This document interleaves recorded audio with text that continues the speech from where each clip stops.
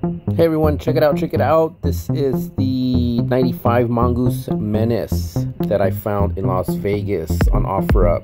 It looked like that when I got it. It was really bad. Really, really bad.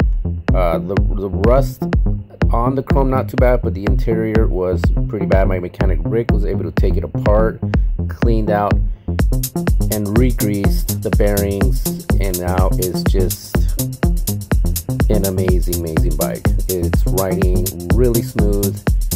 It uh, it looks amazing. We couldn't keep that seat that you saw, and this is an old uh, black Viscount seat that I had laying in the, laying around.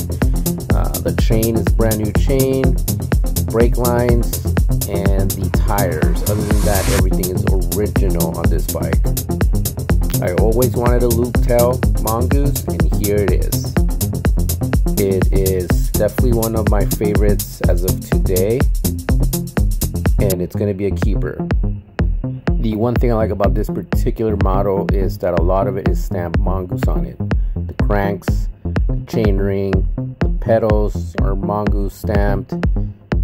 That seat post clamp, not stamped, but it is definitely labeled mongoose. The seat post has a decal on it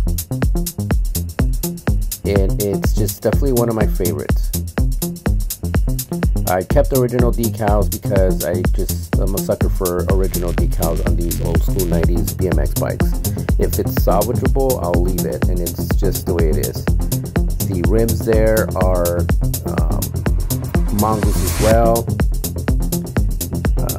So one thing we did we did do was we kept the thick tire in the front and the thin tire towards the back. It's at a 1.75. The front tire is at a uh, 2.1. One thing about this particular bike is those grips. I love those grips.